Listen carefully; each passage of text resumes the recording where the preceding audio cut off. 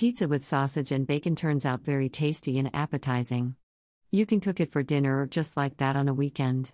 Treat your beloved household with such a delicious dish. Prepare the ingredients. Pour warm water into a bowl, add salt, sugar, and dry yeast. Stir and add the sifted flour. Knead the dough. Leave the dough for an hour in a warm place. Lubricate the form with vegetable oil. Lay out the dough, smooth it out with your hands, brush with ketchup and mayonnaise. Lay out the bacon pieces, lay out the pieces of sausage. Then put the grated cheese on a coarse grater. Bake the pizza in a preheated 190 degree oven for 20 to 30 minutes. Sprinkle the pizza with herbs and serve it to the table.